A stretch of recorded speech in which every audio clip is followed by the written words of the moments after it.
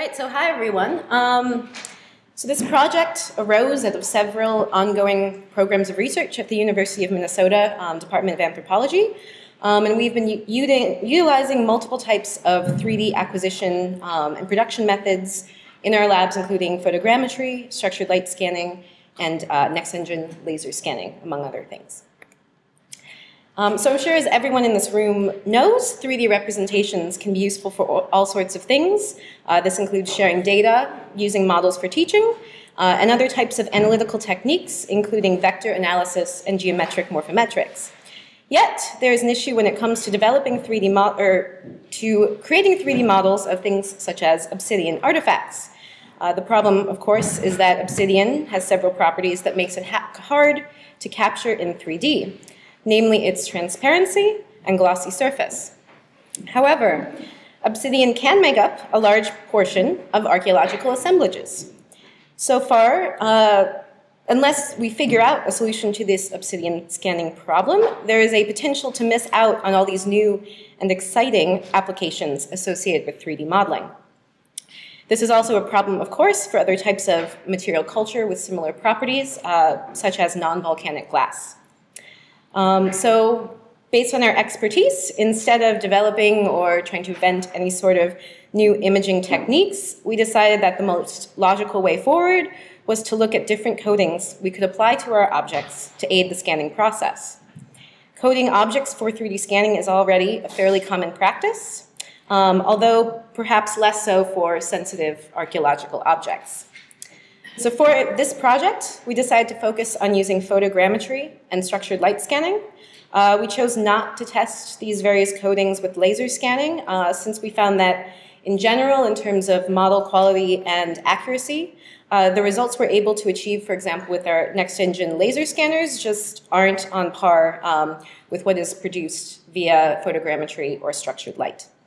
Um, in addition to photogrammetry and structured lights, uh, we also experimented with some other imaging techniques, uh, namely RTI, but I'll get to that uh, a little bit later in the talk. Um, so our methodology was fairly straightforward. To start out with, we created a large number of scans of the same experimental obsidian flake, which you can see there on the left. Uh, and we did this using a suite of different coatings, testing both photogrammetry and structured light scanning. Uh, next, we used these initial results to eliminate any combinations of coatings and scanning techniques that looked like they would not produce high quality models. Um, we then tested the remaining coating scanning combinations on three more experimental obsidian artifacts of different morphologies. Um, and these included a thin, very transparent blade, uh, a small unidirectional core, and um, an experimental, also all of these are experimental, uh, projectile points. Um, so we chose to focus on qualitative aspects uh, to effect, evaluate the effectiveness of these different coatings. Uh, this included whether we could get any recognizable scanning results at all. Uh, next, we looked for gross visual accuracy of the model's surface. Um, in other words, was it smooth like an obsidian flake, or was it bumpy and noisy? Um, and then finally, we looked to see if we could see fine details that lithic analysts like, uh, such as ripples, uh, lancets, and retouch, to see if those were also captured accurately.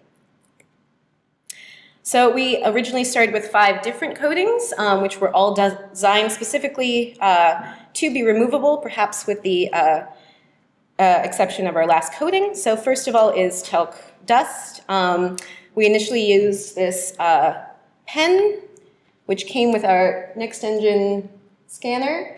Um, so you kind of click it and talc comes out. Um, and, but it was a little difficult to get an even coating everywhere with this, so we ended up just switching and experimenting um, and just using a makeup brush and um, some baby powder from the drugstore. Um, uh, next, we use what is called uh, developer spray. So this is normally used sort of in industrial mechanical purposes, uh, for example, to check the quality of welds, to look for dents on the sides of cars. Um, and it leaves sort of an even, thin coating of fine talc particles on the surface. Um, next, we tested out chalk spray. Uh, so this is used in 3D scanning sometimes, um, specifically uh, the stuff that we used is kind of meant if you're, you know, writing a picnic is this way on the grass, you know, putting something on the sidewalk temporarily, uh, etc. Um, so for both of these developer and chalk spray, we used both a light and heavy application in our initial round of tests. Uh, next, we used dulling spray, which is used, for example, on film sets. If there's a shiny surface and they don't want it to be distracting in the movie, they'll spray this on it, do their filming, and then be able uh, to wipe it off. Um, finally, we tested out medicated foot powder spray, um, which was suggested by an anonymous peer reviewer on an article, so we figured why not? We'll try it and see if it works. Um, so this is what these coatings look like applied to our initial test flake. Um, these are pictures that we used for the structure from motion uh, reconstructions. Uh, as you can see, um, the developer and chalk sprays pretty much turn the object white, um, and for both of these sprays, a heavier application was needed to cover the entire surface of the flake completely to totally get rid of shine. Um, with the talc dust, which here we applied using the little NextEngine um, talc pen, a significant amount of the flake surface remained uncoated. This was less of a problem um, with the makeup brush uh, baby powder technique. Um, and then on the right, you can see the dulling spray and the foot spray sort of results in something in between, so a little less shiny, um, more grayish, with some of the surface features uh, still showing through. So in terms of our protocols, um, for structured light scanning, we used a David SLS2 scanner uh, with a turntable. Uh, we collected one rotations of scans at 15 degree increments. Uh, we then align these scans in Geomagic, um, since in our experience, Geomagic tends to align scans better. Uh, and then we merge these aligned scans using the David scanner software because we find that that merges um, scans better. Uh, and then for photogrammetry, we followed the general protocol, which I recently published with colleagues uh, in Advances in Archaeological Practice. Um, so to capture our images, we used the Sony RX100 III compact digital camera. Uh, models in Agisoft were processed on high for photo alignment and the dense cloud stages um, of processing. And then finally, to make things more comparable, uh, in the end, models from both of these uh, types of method were decimated to approximately 500,000 polygons. Okay, so here are our initial results from the test flake. We're going to take a much closer look at these uh, in the following slides. Um, if you would also like an even closer look in 3D, we've put some of these models up online for viewing on sketchfab.com, uh, which I think the URL will be up uh, shortly, and we're going to try to get more models up there uh, a bit later. Okay, so here's our first group of scans. Um, and to highlight the details, we've uh, displayed these using the curvature mode in Geomagic Design X. Um, so the red is more convex, the blue is more concave, and this kind of lets you see the amount of noise uh, on your 3D scan. Um, so the first scan in the upper left corner was done on a clean flake, uh, and we sort of took out all sorts of data culling, cleaning. Uh, in this case, and you can see we got something that vaguely resembles a flake, but I wouldn't say it's the most uh, useful scan. Um, and uh, next we raised these kind of quality measures and we got a nice scan of putty, um, which also is limited in its use.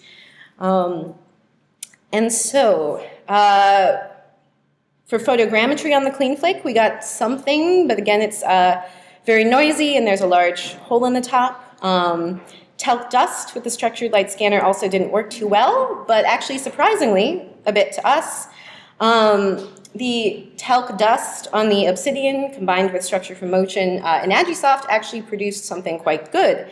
Um, so this looks like what you would want a scan of a flake to look like. Um, it's got smooth surfaces, sharp ridges, and you can even see some surface details uh, such as lancets. Um, so we eliminated those.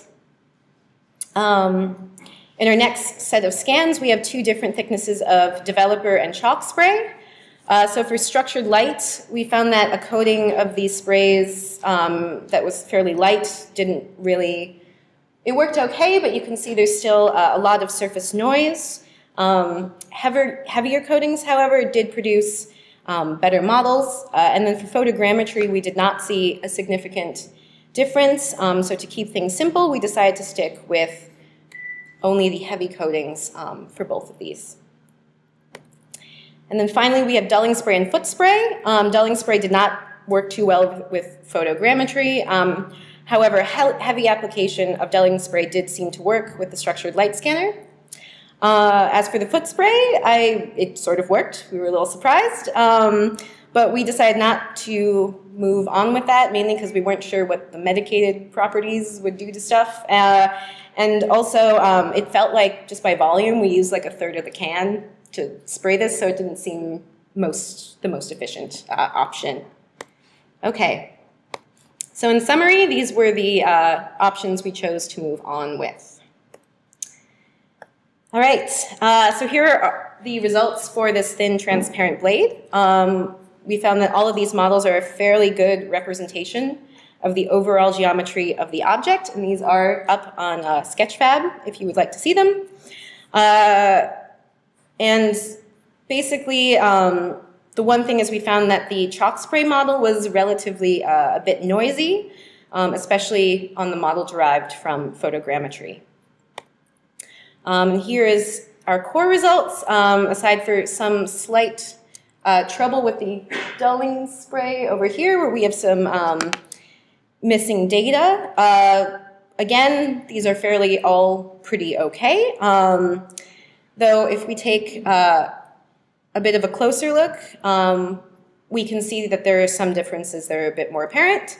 Um, specifically, the structured light model created with developer spray, and this was the same with chalk spray, seems a lot more rounded. Um, you're losing out on some of those details. Uh, things are a bit sharper with the dulling spray model, um, but at the same time, we ended up with a hole using the standard settings. Um, however, the photogrammetric model done with the talc dust has a lot of details, and again, these appear sharper. Um, so finishing off our scans, we have this projectile point.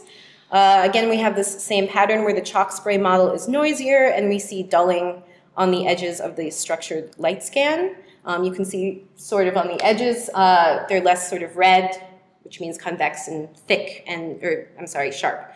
Um, but in this case, we didn't get any holes and the dulling spray model actually looks quite good. Um, some other things to consider with these coatings, of course.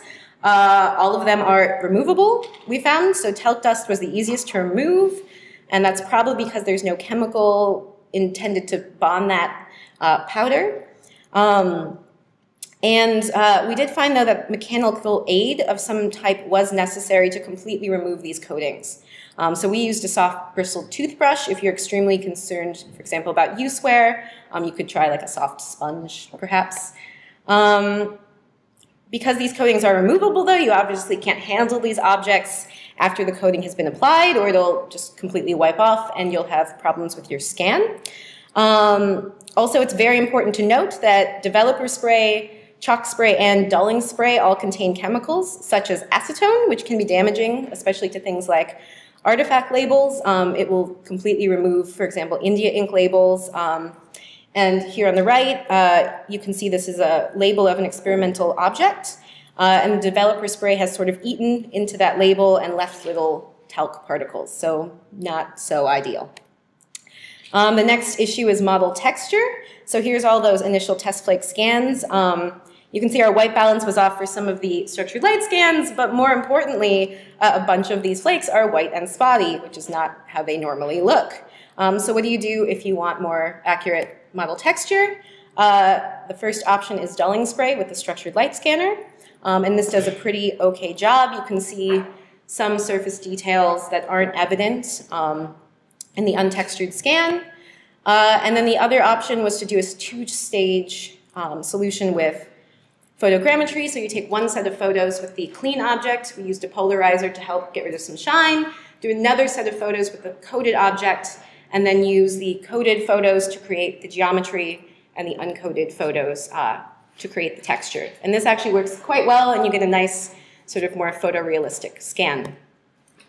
Um, so in sum, uh, for these coatings, uh, structured light scanning, we would suggest developer or dulling spray, photogrammetry, try talc spray or a developer spray, um, but that being said, talc dust and photogrammetry seems to produce the best results with the lowest impact on artifacts. Um, and then this just shows, right, that chalk spray is, creates sort of a fuzzy texture uh, on the object, which then shows up in um, your model. So we specifically used Montana brand chalk spray. We can't be sure this is the same with all chalk sprays, um, but it's a little dangerous. So not dangerous, not ideal.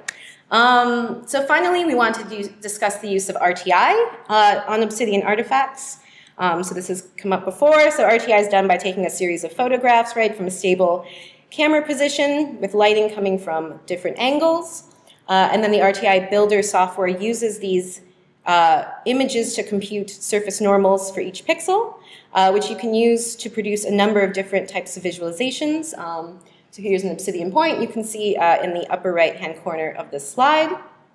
Um, but what we thought was interesting is this idea that it's actually possible to derive 3D reconstructions from RTI. Um, so this is an example uh, that our co-author Leszek Pawlowicz uh, produced and presented um, last year in 2015 uh, at his SAA conference paper. Um, so in general terms, uh, the way this works is that we know the surface normals, we know the surface has to be continuous, uh, so mathematically we attempt to fit a surface based on those constraints. Um, and some corrections may also be applied to deal with things like non-uniformity of light distribution and inaccuracies uh, in the calculation of lighting angle. Um, so we did RTI. Uh, here I'm going to present it on our um, projectile points, point, and you can see in the lower right-hand corner that normals uh, visualization. Um, so on the left is an image uh, we created in Photoshop based on that normals visualization, and on the right is our 3D model as viewed in um, Geomagic, and it looks quite good. Uh, so there's small details such as scratches. You also get visible um, use-related things such as pitting, um, which is quite astounding. And these are not details uh, that we would normally expect to find from a 3D model created with any sort of relatively affordable methodology. Uh, unfortunately, however, despite all of these great details, it's not actually an accurate representation of the overall morphology of the point's surface. Um, so in this slide, you can see a comparison of the RTI-derived model on the left and our structured light scan on the right, and clearly these don't uh, quite match. So the question then becomes how do we correct for this distortion? Um, we didn't quite get much further than that, uh, though it looks like there was an uh, abstract submitted by some of the folks at Cultural Heritage Imaging for a session yesterday on combining RTI and photogrammetry. Uh, unfortunately, it seems like that talk was canceled, so um, we're very excited to see what they eventually uh, put out from that because that would be really great. Um, okay, so conclusions. Uh, long story short, it's possible to make high quality scans of obsidian artifacts with photorealistic textures. Um, and for now, we can achieve this by coating artifacts, but moving on in the future, it's bright and it likely uh, lies in the development of new methods or perhaps uh, refining combinations of these methods such as structured light scanning, photogrammetry, and RTI. Okay, so that's what I've got for you today. Um, again, we have some more resources available uh, at these following places. So um, some of the models are in Sketchfab. Uh, Leszek's website is rtimage.us. Um, and I've got some assorted other things on my website uh, as well. And then thanks to all these great people and organizations.